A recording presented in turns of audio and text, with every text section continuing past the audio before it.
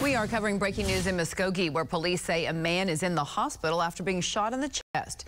Police say the shooter was still there when officers arrived and is being questioned right now. We do have a crew on the way to Muskogee, and we'll have the latest for you tonight at 9 and 10.